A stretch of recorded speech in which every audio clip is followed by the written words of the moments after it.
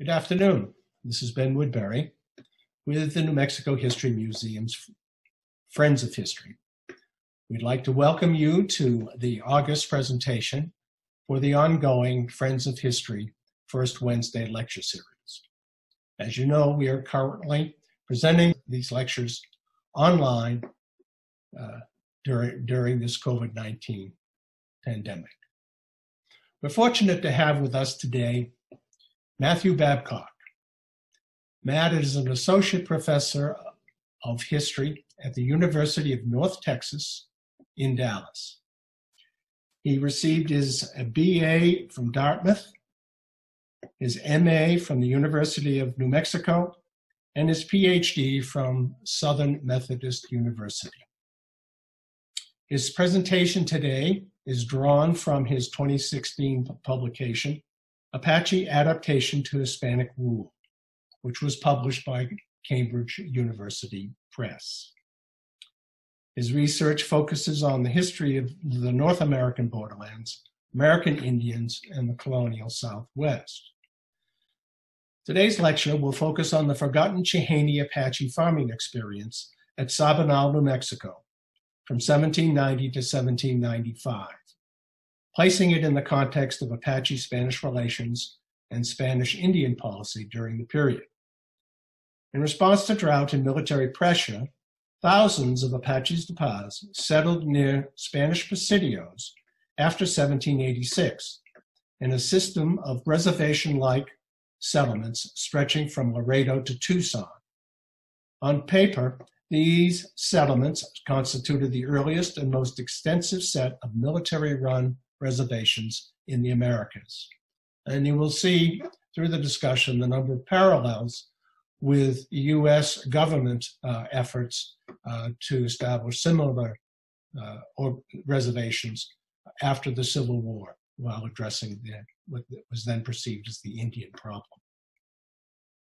The Apaches who did settle uh, in the Spanish settle, uh, settlements exhibited mixed loyalties, sometimes serving Spanish interests and other times subverting them, demonstrating the limits of indigenous assimilation into imperial states.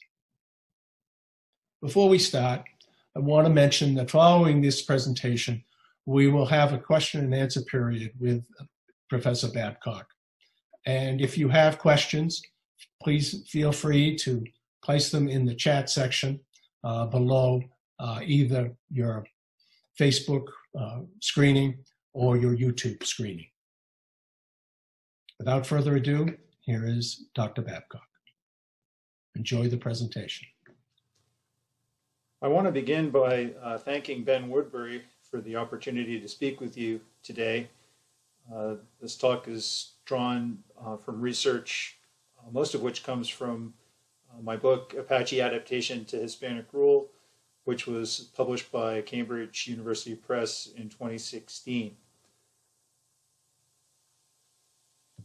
After negotiating preliminary terms with New Mexico Governor Fernando de la Concha in Santa Fe in late 1789, the following July, the four Chihene Ende Nantans, Hasquenelte, Hans Quiadecho, Hans Hesny, and Nazbach whom Spaniards called Gileño and Membreño Apache leaders, uh, signed a peace treaty uh, on behalf of their kinsmen residing in mountain ranges stretching across most of today's southern New Mexico, uh, from Zuni Pueblo in the northwest to El Paso del Norte uh, or modern Ciudad Juarez in the southeast. In late May 1791, Hasquenelte, a resident of the San Mateo Mountains, whom Concha named General, had relocated 18 ranchos of his people from the San Mateo, Gila, and Mimbres ranges to within half a league of Sabinal Pueblo, a Rio Grande, uh, Rio Grande farming community uh, located south of Belen, uh, which you can see here uh, on this map. For four straight years, these chihenes seasonally farmed near Sabinal during the growing season using Spanish farming implements and the existing acequias for irrigation. After meeting with the Apaches at Sabinal in late April 1792, the governor reported that the two groups resided in separate settlements on either side of the Rio Grande, and in an effort to ensure that the Indians complied with the treaty terms, uh, that vecinos from the Rio Abajo district were assisting the Chihenes in sowing three cornfields. By December, Sabinal's close to 300 Apache residents were receiving a small weekly ration of maize at the king's expense. Despite Sabinal's brief existence as an Apache reservation, Governor Concha's agricultural experiment is noteworthy for several reasons. Uh, here is a rare, a rare case where Spanish efforts to get Apaches to farm actually worked, reflecting the high level of accommodation uh, that at least some Apaches and Spaniards reached in this era, uh, and Apaches uh, could draw on their experience in their future dealings with Mexicans and Americans. The Chihenes at Sabinal were not alone. A prolonged regional drought and coordinated attacks from Spanish troops and their Indian allies uh, influenced thousands of Apaches to relocate and resettle in a group of reservation like establecimientos uh, near Spanish presidios beginning in 1786. Stretching for more than 900 miles at its height in the late 1790s, from Laredo in the east uh, to Tucson in the west, this little known Spanish experiment constituted the earliest and most, and most extensive system of military reservations in the Americas. By the 1790s, approximately 2,000 of an estimated 11,500 Apaches had settled uh, on at least 12 reservations across the Southwest, uh, including at least 50% of the Mescaleros uh, and uh, a group that I'm calling Southern Apaches, uh, who uh, most Americans are more familiar with as Chiricahuas, of which the Chihenes were a part. Spaniards established their presidios or military garrisons along the river valleys, from which they tried to assert control over the region.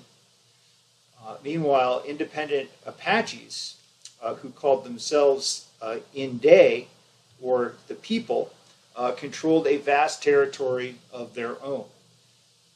Inde Goquia, uh, Apache country, which Spaniards called the Gran Apacheria, uh, comprised most of modern Texas, New Mexico, eastern Arizona, and upland and arid portions of Coahuila Nueva Vizcaya, and Sonora. Uh, this well established elastic space overlapped the emerging uh, Comancheria or Comanche country, uh, which has received much more attention from scholars. Uh, its boundaries uh, extended from the Colorado, uh, boundaries of the Apacheria or uh, Indegoquia extended from the Colorado River in the east uh, 700 miles westward to the Middle Gila River, and from the Mogollon Mountains in Texas Hill Country in the north to the Sierra Madre and Bolson de Mapimi in the south. Uh, you know, we might think of the Comanches as being uh, the largest north to south indigenous power uh, in the southwest at this time, um, but the Apaches uh, were the largest uh, east to west uh, power, uh, indigenous power, uh, in, the, in this same period. Many Americans would be shocked to learn that the families of well known chiefs or, or Nantans um, from Mangas Colorados to Cochise uh, and eventually uh, even Geronimo uh, lived within this system. Some of the most favored Apache headmen uh, resided inside the Presidio walls with their entire extended families. Uh, like missionaries, Presidio commanders hoped to turn Apaches into Spaniards. Uh, instead of making religious conversion the heart of their program, however, military officers first hoped to make Apaches dependent on Spanish foods and material goods in an effort to turn them into sedentary farmers. Uh, at the establecimientos, then, uh, Christianization was the last step uh, in the acculturation process uh, instead of the first. Uh, It seems clear to me that from the perspective of the Spanish military, uh, these were in fact reservations. Every week, Spanish officers recorded the rations and supplies that they issued to Apaches in an account book. Every month, commanding officers, such as in the document uh, from Pedro de Nava, uh, the 1791 document uh, you see here on the screen, uh, commanding officers recorded the total number of Apaches in each band, noting marital status, gender, and age. Uh, most importantly, in 1791, uh, Commander in Chief of the Interior Provinces, Pedro de Nava, ordered that, quote, the territory that each rancheria occupies should be specified as well as the distance from the principal post, end quote. If Apaches left their specified boundaries for any reason, they had to obtain a written passport from the commander. Why then uh, would Inde uh, ever agree to such terms and sign these treaties? Apaches settled near Presidios for essentially the same reasons uh, that they and native peoples across colonial North America settled in missions. Uh, to Inde, Presidios and surrounding reservation lands were potentially resource rich zones of safety, uh, which they could utilize like trading posts. Uh, Apaches, especially women and children, sought protection from Spanish troops and Indian enemies, who included Comanches, Utes, Pueblos, Opatas, and Pimas. Their enemies at this time also included a portion of the Athapascan speaking Navajos, uh, who were serving as Spanish allies. Um, and for independent Apaches, uh, Apaches de Paz uh, could potentially hunt them down uh, as well. Uh, so Spaniards were using the classic divide and conquer tactics uh, that dated back to Cortez, and they made the strategic choice uh, to ally with Comanches uh, rather than uh, Apaches. They regarded Apaches as, as their arch enemies. Um, and so Spaniards and their Indian allies targeted Apaches themselves in their resources, their camps, their horses, and their crops. Inde women, especially, were interested in safely accessing uh, seasonal harvest locales for mescal and other uh, wild plants that they gathered. Uh, second, uh, Apaches sought as many material benefits uh, within the system as Spaniards were willing to offer them. These consisted of food rations, gifts, spoils from battle, trading privileges in, na- in neighboring pueblos, and most importantly, from an Inde perspective, uh, the recovery of captured kinsmen. Uh, in return, Apaches agreed to return their Spanish born captives uh, and unbranded livestock, stop their raids into Spanish territory, and help Spaniards defeat other independent Apache groups. Lastly, Apaches realized that they could manipulate the system to further serve their needs. Uh, Inde headmen began to do this from the very moment they negotiated peace agreements with Spanish officers uh, by attempting to work as many treaty terms as possible in their favor. Uh, subverting Spanish efforts to make them sedentary farmers subject to Crown authority, uh, the Inde would adapt to reservation life by remaining at least uh, semi sedentary and using Spanish rations, gifts, and military protection to sustain and preserve their families. Getting back to Sabinal, uh, Governor Concha's decision to resettle Apaches there uh, also provoked some controversy from a Spanish policy standpoint. Uh, as early as 1788, both Comanche leaders and Commander in Chief of the Interior Provinces, Ugarte, uh, voiced their displeasure with admitting Apaches to peace in New Mexico. Comanches, who had forged an alliance with New Mexico Governor uh, Juan Bautista de Anza in 1786, uh, complained that they would have no enemies to fight if Spaniards granted Apaches peace in the province. Ugarte, uh, fearing the disruption of the Comanche alliance on the one hand and a lack of Apache compliance on the other, forbade New Mexico's governors from making peace with any Apache. Uh, now, Concha was still able to proceed uh, with his Sabinal experiment, however, uh, because Viceroy uh, Manuel Antonio Flores and Ugarte's successor, Pedro de Nava, supported it. Indeed, Concha's predecessor, Governor Anza, uh, he too had established a precedent uh, for resettling mobile equestrian native groups uh, in agricultural settlements, uh, settlements by ordering the establishment of the short-lived uh, San Carlos de los Jupes, uh, northeast of Santa Fe, uh, on the Arkansas River in 1787. together with Spanish laborers from Taos, Jupe Comanches built and occupied 19 houses by mid-September of that year before abruptly abandoning the community uh, in January 1788, uh, following the death of one of the wives of, the, of their leader, uh. Uh, uh, according uh, to the terms of the 1790 Sabinal Treaty, the Apaches de Paz were supposed to warn Governor Concha of enemy Indians entering the province.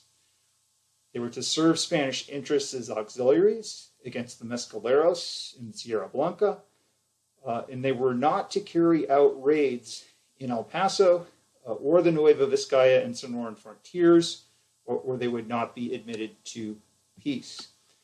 Uh, in exchange, Concha promised to fur- furnish them with seeds, farming tools, and agricultural plots along the banks of the Rio Grande, uh, and to have vecinos teach and help them to farm, uh, as had been done uh, with the Navajos uh, and Jicarillas, uh, whose example uh, he hoped they would follow.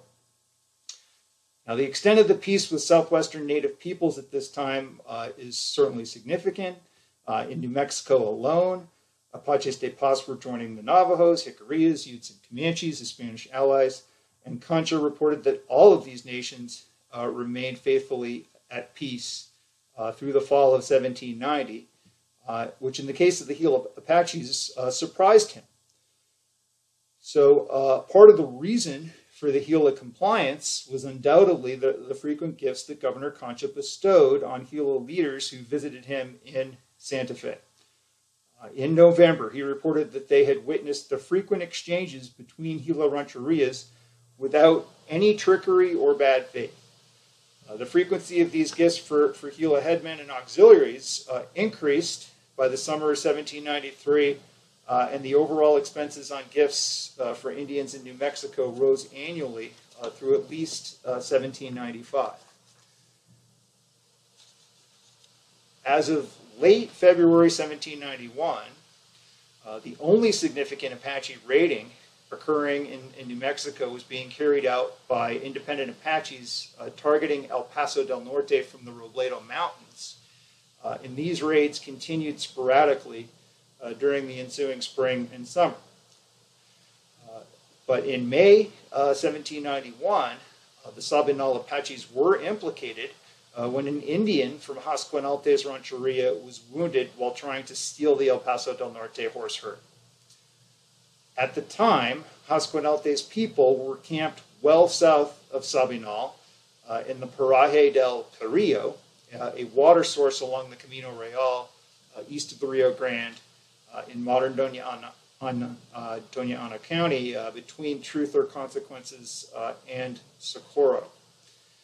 Um, by late May, however, Concha reported the order had been restored and Capitan Hasquenalte and 18 ranchos of his people uh, from the Gila and Mimbres Mountains were residing half a league from Sabinal uh, on the banks of the Rio Grande, where they sowed crops uh, utilizing the existing acequias.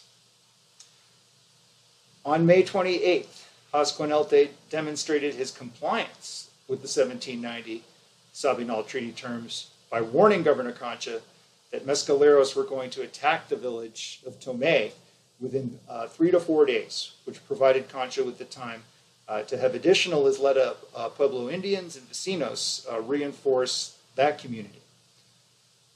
In mid April 1792, in an effort to further encourage Apache farming, uh, Governor Concha personally met with the Gila and Mimbres Apaches in a four day conference at Sabinal.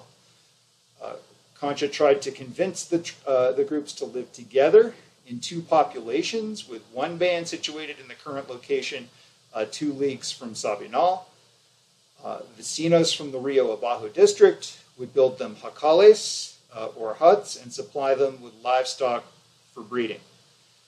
Since Concha was not convinced that these Apaches would honor the peace when left alone, uh, he had them immediately begin sowing uh, three cornfields under close supervision. The following April, uh, the Apaches de Paz at Sabinal asked Governor Concha for a passport to harvest mescal, uh, which he granted them uh, on the condition that they return to Sabinal by May 1st uh, to plant their accustomed crops, which they apparently did. In December of 1793, Concha reported that Apaches de Paz uh, camped near Sabinal were, were committing small hostilities.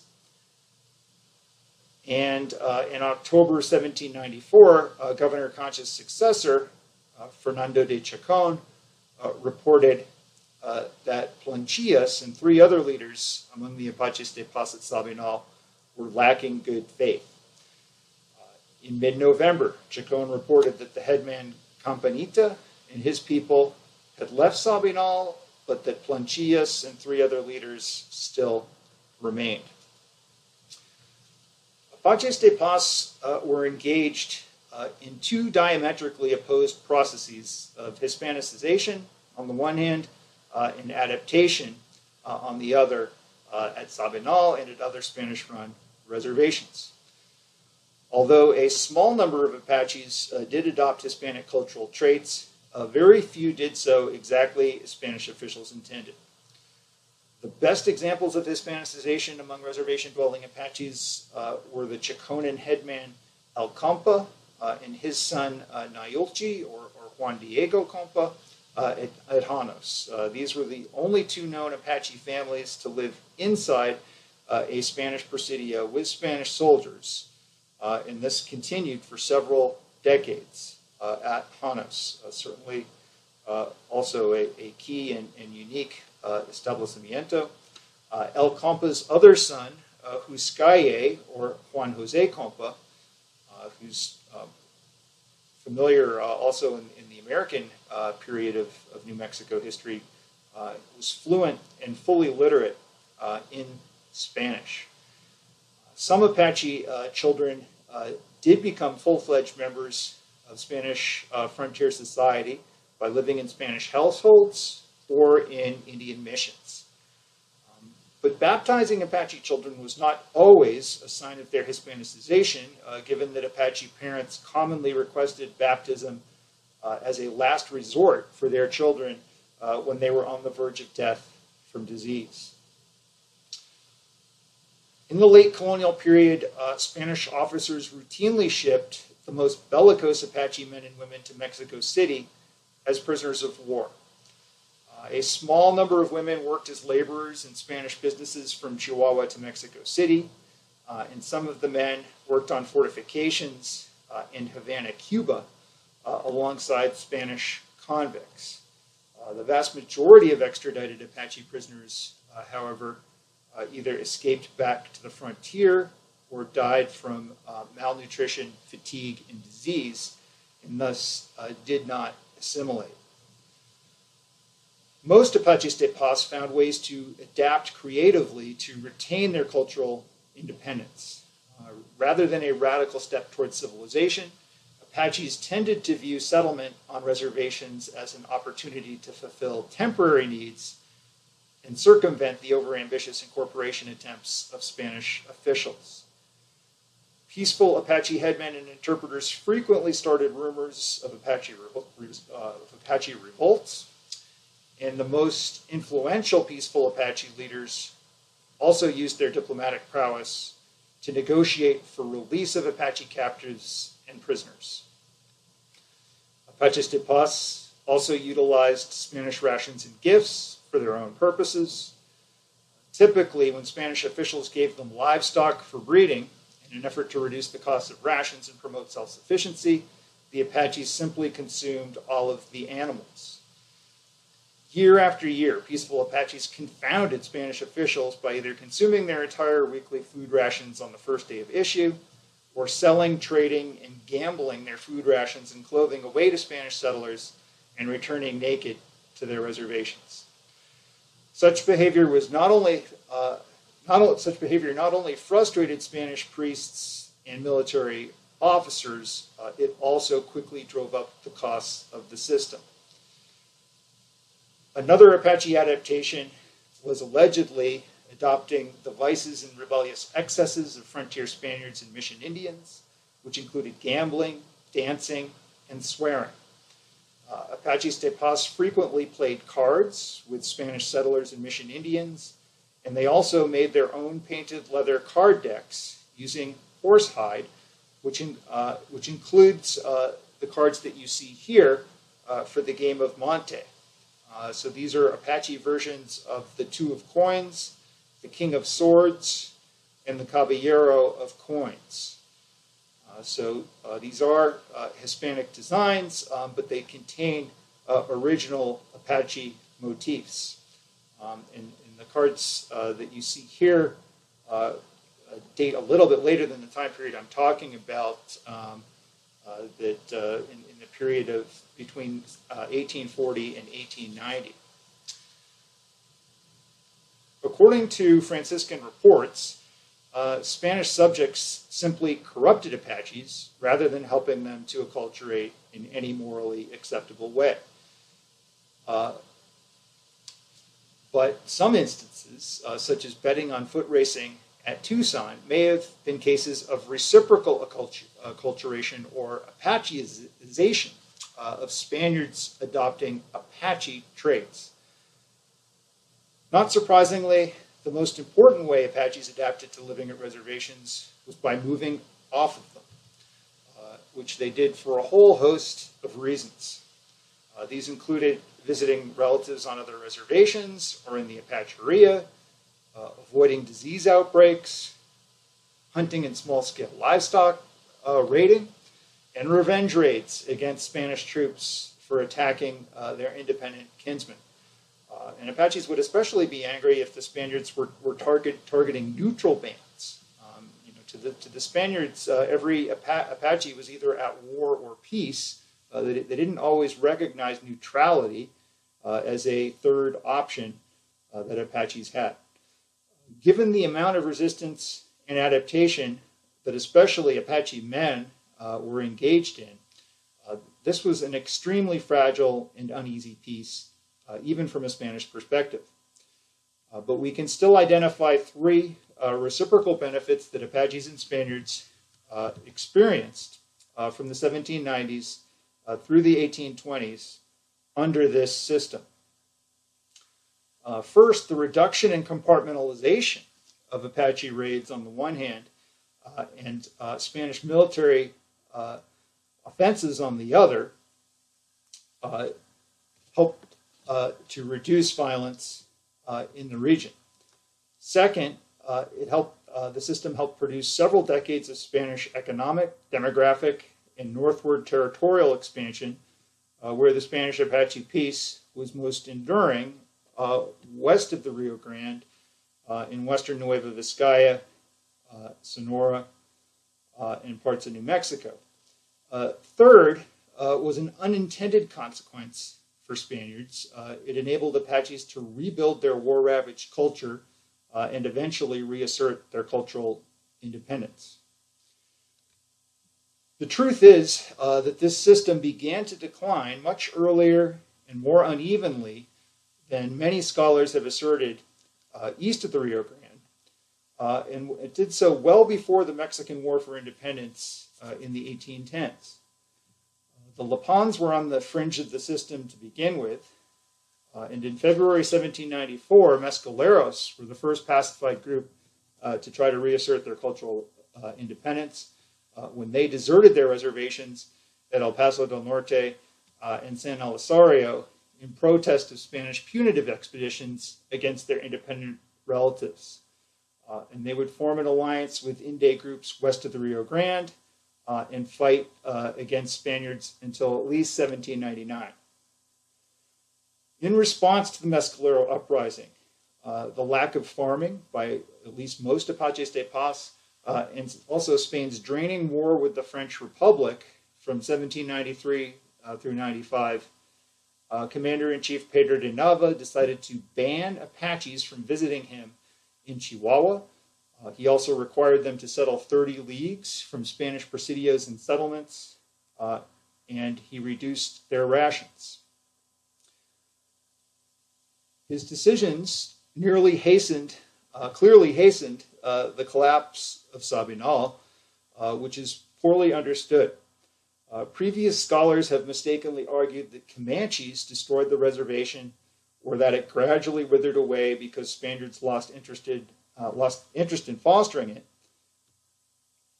For nearly a decade uh, after the Spanish influenced breakup of, of the Chihene uh, Dine or Navajo alliance uh, in, on, on, October of 1786, Navajos, uh, not Comanches, were the major uh, indigenous threat to Chihenes. Uh, Navajo's repeated killing of Chihene adults and capturing of small children, uh, including the treacherous assassination of Nantan uh, Napachuli, uh, who's also known as Tecolote or Owl, uh, and eight other Chihene men during peace negotiations uh, in the Dinétah, or Navajo homeland, uh, in July 1791, uh, did not ruin Sabinal either.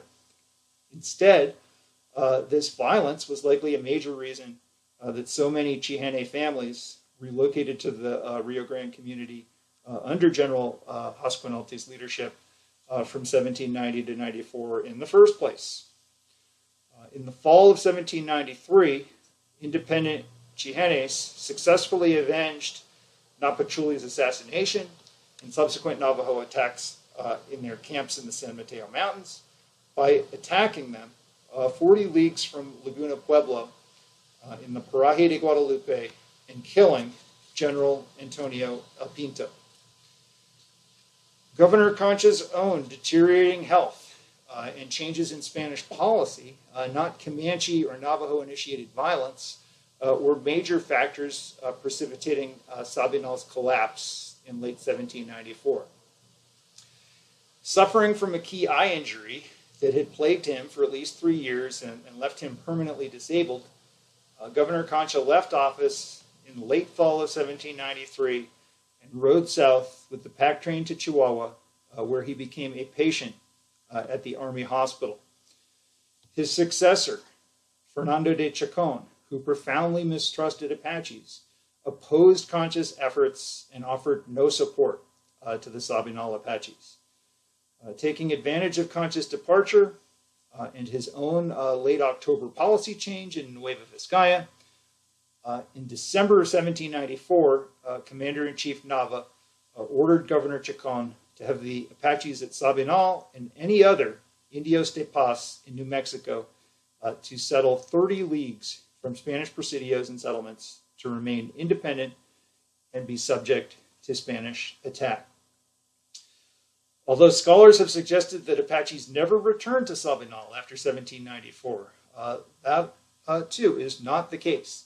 In May of 1795, 16 Apache families remained at peace near the Pueblo uh, and throughout the spring, Chacon, uh, following Nava's orders uh, much more closely than Concha usually did, uh, repeatedly rebuffed Apache emissaries requesting to return there. Uh, when an Apache woman carrying a cross requested peace at Sabinal in late July and complained of Spanish attacks on her people, uh, who had done nothing wrong, Sandia Pueblo auxiliaries seized her and tried to bring her to Santa Fe. After she escaped near the Sandia Mountains, the auxiliaries hunted her down, killed her, and presented her severed ears to Governor Chacon. Meanwhile, uh, former Apaches de Paz from Sabinal, most likely in concert with their independent kinsmen, responded to the Spanish policy of removal and escalation of violence toward them by defiantly camping inside of Nava's 30 league limit and boldly striking settlements in the Laguna, Albuquerque, and Tomé districts of New Mexico.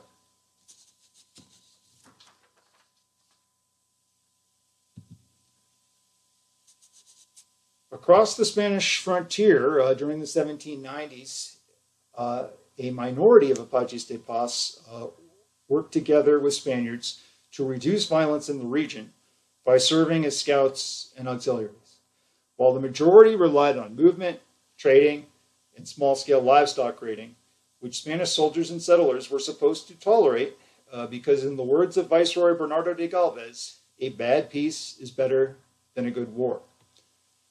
These dual strategies caused confusion, disruption, uh, disruptions and results that Spanish policymakers never intended, but that does not mean that the establecimientos were a failure. Instead, they enabled the system to endure and, functionally lar- and function largely on Inde terms uh, in the Inde to reassert their political and territorial sovereignty by 1832. Yet the power balance between Apaches and Spaniards in the late 18th century was very even. The chief material benefit Apaches obtained from Spaniards from 1778 to 1795 was stolen livestock. Apaches captured more than 23,000 Spanish horses, mules, and cattle, with Spaniards recovering less than half of them uh, at almost 9,000. Uh, the chief material benefit Spaniards obtained from Apaches were Apache captives and prisoners, especially women and children. Uh, you can see a huge disparity there uh, 1,254 uh, versus 78. Now, the killing was virtually even on both sides uh, 1,089 Apaches uh, to 929 Spaniards. Um, so, this was not an absolute Spanish military victory uh, by, by any means. And we can understand, get some understanding on the negotiating that was taking place here uh, with the potential for Apaches to exchange stolen livestock for Spanish held uh, captive Apaches, explaining uh, a lot of the peace agreements, uh, but not necessarily all of them. Uh, and indeed, the Sabinal Peace Treaty uh, and subsequent resettlement remain unique because of the extent of Apache farming that did occur there. and 60 years later, during the 1850s, uh, Chihene, Mimbres, uh, and Ojo Caliente Nantans, uh, including Mangas Coloradas uh, and Baishan, or uh, Cuchillo Negro, who you see here uh, in this painting, uh, would draw on this prior experience at the establecimientos by negotiating similar accords with Indian agent Michael Steck and Governor David Meriwether in New Mexico of raising hundreds of acres of corn along the Mimbres and Gila rivers. Uh, what Inde would succeed in retaining during this brutally violent period uh, from the 1830s uh, to the 1850s, following the collapse of the establecimientos, uh, was the vast majority of their homeland. Uh, now, obviously, uh, this would change during the 1860s, um, but this is an interesting uh, development of uh, a uh, equestrian uh, mobile group uh, reasserting their cult- cultural independence and returning to their homeland for a 30 year period. in the interest of time, I think I'll wrap things up there and just leave you with an image of uh, my book, again, Apache Adaptation to Hispanic Rule uh, published by Cambridge University Press in 2016. Uh, it's available uh, through Amazon or, or through Cambridge, uh, the Cambridge website. Uh, thank you very much, and I do look forward to answering some of your questions.